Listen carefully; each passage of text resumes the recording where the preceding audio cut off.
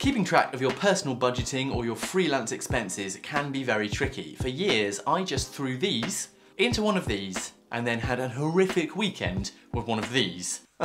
That's such a bad line. Enter Notion. In today's step-by-step -step tutorial, I'll take you through the basics of building your very own version of my finance tracker that will make managing your money less complicated. Welcome back to the channel. If you are new here, however, I'm Simon and on Better Creating, I'm trying to simplify productivity and creative life.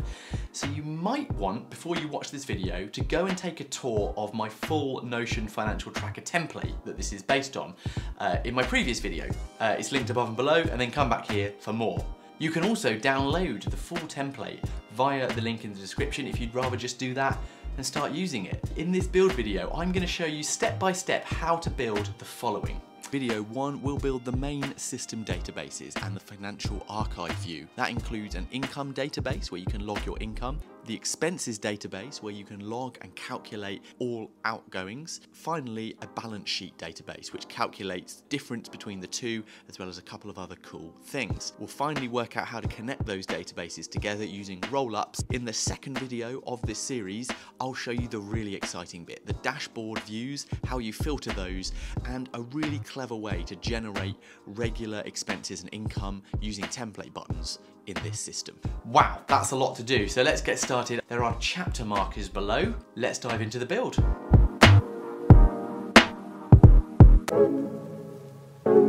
So the first thing you need is a clean page, my financial tracker. We're gonna do empty with icons rather than a table because I want to insert various tables into the page. Uh, I'm gonna go to the top right and we're gonna make it full width uh, here, you'll see there's an icon. We can change the icon, flying money tree. And you can add a cover if you want, why not? I'm going to create the income database. So we're gonna do forward slash table. I wanna do a table inline. So the name, we're gonna change to um, description.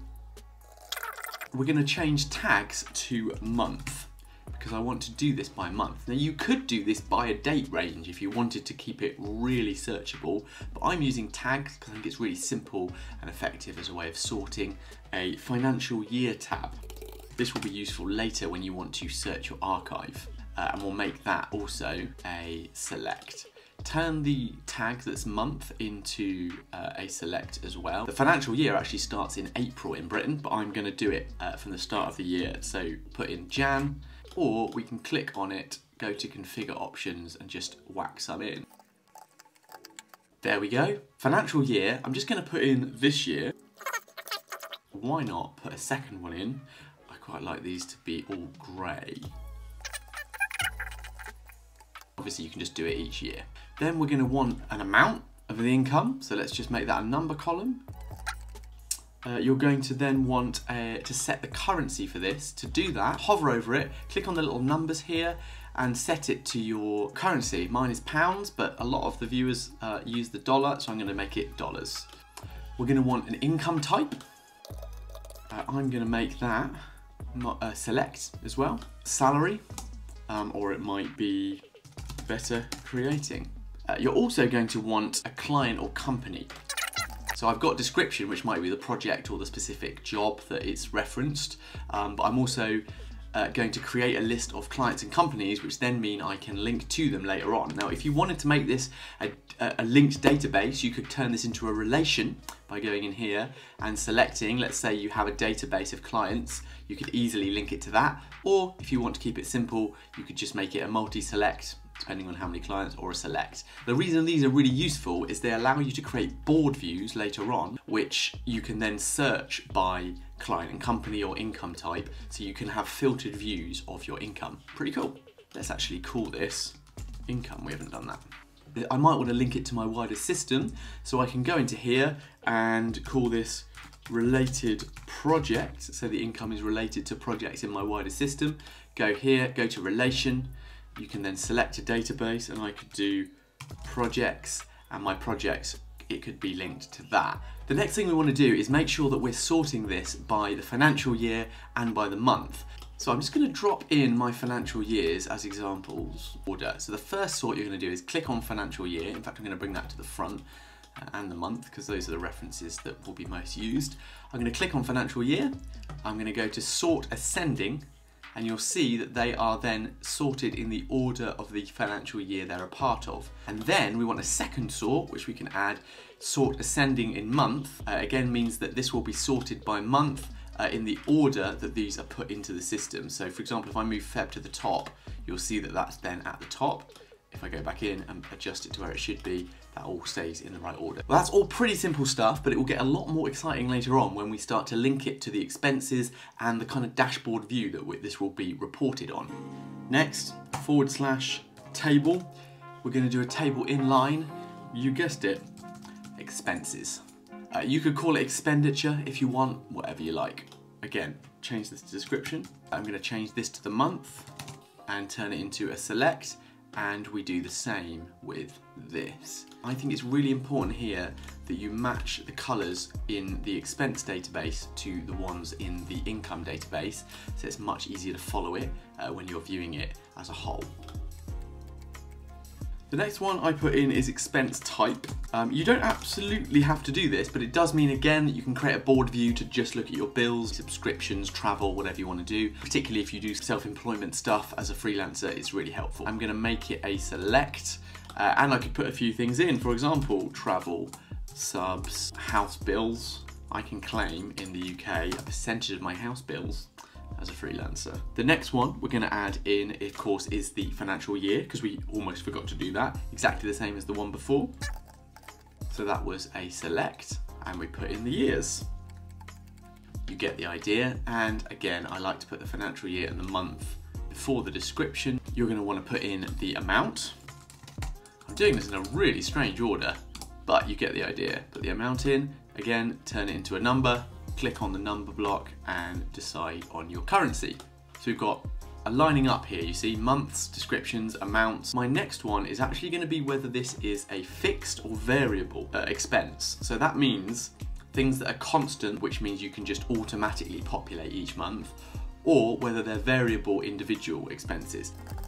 That is gonna be a select, fixed, variable. Next, there's going to be a series of columns which will involve formulas that do all the kind of clever calculating of things against expenses. We're going to do this as a copy and paste formula. So I'm going to list the actual formulas uh, down in the description so that you can copy them. But first of all, let's just put all the columns in. So the next column is going to be set budget. Simply going to be a number. We set the currency set percentage claim. So this is for us to set how much of the entire expense that we've had we might want to claim uh, against taxes if you want to do that with this system. Now that is going to be a number as well, but we're going to set this as a percentage. You see there, percent. So we're going to put that in. That will be used for calculation later. Next column, final expense claim. This one's going to be a formula, but we're not going to put in the formula just yet. Then we're going to do calculated percent claimed. That is also going to be a formula. On the end, we're going to do a files column called receipts. If you wanted to put images of your receipts in there. Now, a little disclaimer on this, if you are using Notion, you have to be comfortable with the information that you lay out in this system. So do your own research on the security around Notion. If you're comfortable with it, then absolutely fill your boots. Uh, but I just want to give you the tools uh, so you can make your own decisions as to whether and how you're going to use this system. There are two more formulas that we need to add. Planned expenses. Make sure you're typing these in exactly as I do because when I give you the formulas to uh, paste in, in a certain order in a moment, make sure that it matches because it means that spaces, capital letters, all of that counts for the formula to line up with what you've titled your columns. We're going to call it planned expenses, that's also going to be a formula. And then finally, we're going to do status. This one is going to be formula. If I just move these over, so we set an expense amount that we actually pay, we set a budget for that, how that lines up, so then that will calculate what we planned against what the, the actual was and give it a status. So this will report on those saying on budget, overspent, or enter an amount. We'll then also have final expense claim. So if I put a percentage claim in here, I'll then calculate the percentage of the amount that we're claiming, if we're going to do that, for example, for tax, and it will give us a final expense claim. So this is all reports on the same system. Go into the description, you'll see I've listed four formulas in order, and it's really important that you put them in in the right order because some of the later ones reference the first ones. So you're just going to take it, copy it. This one is for calculated percent, percent claimed.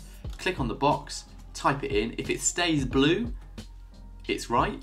But you could also, if it's not working, look at how it works and in this place, you can insert your own if you if you want to title them differently.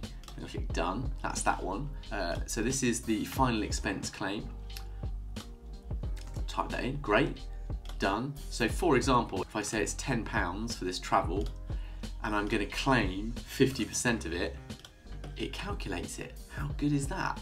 we should probably with this click on the numbers and format it so that it stays the same, yeah, percentage claim. Then we're gonna want planned expenses, so we're gonna put that in. This just means that when you report on it, you will be able to see what you've actually planned for in expensive expenses and stuff that wasn't planned for. So if it's not budgeted for, it isn't listed in planned. If it is budgeted for, it was planned. Finally, we want a status as to whether we're on track or not. So we're gonna copy this in there, again in the description. And this simply says if its planned expenses are greater or equal to the amount, then you're on budget. Planned expenses are smaller than the amount, then you've overspent. Otherwise, enter an amount. Let's just show you what that means. Set a budget, nine pounds, I spent 10, overspend. Nothing in there, enter an amount. If the budget is 11, it's on budget, and if the budget is 10, it's on budget. That is now your expense system working. If you have trouble with this, again, go back to the descriptions, check them, make sure that everything is correct and everything lines up with the description you've put in the column title to the bracketed uh, parentheses, nice word, of what's there. Maybe we just call this view system. And then it just means that um, it's where all your programming goes, yeah? So the view is called system. Uh, then the default view we can just call um, archive. And later on I'll show you how this all fits into the wider system. We're actually going to do the same on this one, so we'll call this table view, click on the dots, income archive. Again, with whatever board view you add, it needs to be sorted. So we can go to financial year, we want to sort ascending, month, ascending, so it goes year then month. And in your system view, you might want to do the same. Do the same in income, in my system view. We've got our income and expense uh, tables pretty much in place. Now for the exciting bit, we're gonna create the balance reports. So we're gonna use roll-ups, calculating your income against your expenditure. Make sure to hit the like button if you find this stuff valuable. It goes a long way to support the channel. Let's dive in. Click on your title, return, so you've got a space. You're gonna do forward slash toggle. We're going to insert all of this into it. So I'm gonna call this the system view, or you could call it your historic view, whatever you wanna call it. There it is. You're gonna take both of these and we're gonna lift them and place them into there. After this section, we can then create our dashboard that we actually run the system from. Make sure to subscribe as the dashboard and budget item generator builds are in the next video. First of all though, open up your toggle and below it we're going to return again and we're going to put in here forward slash table. This one we're going to call balance. We're going to make the main title the year we're going to change this to a roll-up. So you go down, and see this little magnifying glass symbol because it looks into other databases. That's how you should think of a roll-up. And we're going to call this one total income. We're going to do another roll-up, total expenditure. I'm going to call it total outgoings. Then we're going to want a formula. We'll build all this in a moment. And this one is going to be gross yearly profit or profit loss. We're going to do another formula and that one is going to be total claimed expenses. And another formula, and this one is going to be final yearly profit loss. Okay, the next thing we need to do is make these roll-ups work. And in order to do that, we need to connect things. Relate, basically, the income and expenditure um, databases with the balance database. First of all, I'm gonna put a year in here. I'm gonna call it 2021. Uh, and I'm going to create another one, 2022. And in fact, sort ascending, very helpful. So we're going to add in here, create a relation, and we're going to select income on the list. Okay, that's the one. Create the relation, and there it is, related to balance. Each thing needs to be linked to one of these files, yeah? So I'm just gonna call this. If I click on here and link it to the year, it will then turn up in that year, yeah? Now obviously you don't want to do that for every single thing, but that is the joy of creating a dashboard in a moment that will help you do that. But I'm just putting those in, as you see I've put some made up numbers for an example into the system so you see how it works. Okay, now let's do the same in expenses. So we're going to add another column up here, go to create a relation, this time select, there it is, create the relation, expense relation. And again, for example's sake, at this stage, I want to relate that expense to the same year. So you'll see, let's just give this one a description. So let's now calculate. So total income, I want to click on it, the roll up, select a relation. We want to be the income relation, so we're setting it up to that relationship. We then want the property we show to be the amount. There are all the amounts they're all listed, it's rolling them up, fantastic. Now what you now need to do is click sum, it will add up the total. The same with outgoings, you're gonna click, select this time expenses. This is gonna be total amount of expenses. So you're gonna click amount and you're going to click sum, 10 pounds. I'm just gonna add another example in here and we'll call this food shop. So what we should now see is the total appears, fantastic, it adds it all up. That's total outgoings. For gross yearly profit, we first of all want to click on here and we want to make a sum. So it's essentially gonna be total income minus total outgoings. It, we need to then format it as you've done with everything else. There you go, it's worked it out. Now we need to look at these final two formulas that will complete this system. Total expenses claimed. Now I told you this was a formula. I forgot. It's not. And it doesn't matter because we haven't done anything. But it's a roll up just like the other ones. But this time what we're going to do is select the relation as expenses. As you can see, but Instead, we're going to select final expense claim because if we've adjusted the percentage claim to less than 100% of the expense, uh, because for example, we can't claim it, we need a final expense result. What will happen in this system is whatever you put into the system, unless you change the percentage, it will say all of those expenses count against your business. So you need to adjust that if you're wanting to use it. So final expense claimed and then the sum of that. Now you'll see 110 in total outgoings, 105 in claimed, and that is because 50% of the 10 down here, I've made the percentage uh, claim less. So that means that here, we can make this formula a simple formula, which is total income minus total expenses claimed. You'll see, therefore, the income is $5 more because we're claiming five less against the income. Brilliant. Uh, you might want to add a view to balance here, and let's call this one historic view. Uh, and what we can do is in historic view is hide all of the formatting so that it becomes nice and clear. You will probably want to, in historic view, um, sort it ascending. And then the other one we can simply call system because this main database is going to become, put that at the top, uh, is going to become the way that we view the historic information. So you'll see here, we then have a nice clear view of everything in order. Close that up, and underneath this, we are going to create the dashboard. Well, if you've got this far, you've got to the really exciting bit. In the next video, we'll create the main dashboard view that allows you to filter monthly views of your income and expenses for day-to-day -day use. And I'll show you an amazing technique to create regular recurring expense and income items that you can drop in just like that. Check out my full Notion system template. You can build it, you can download it from bettercreating.com. Of course, subscribe if you're not already, and I'll see you on the next video.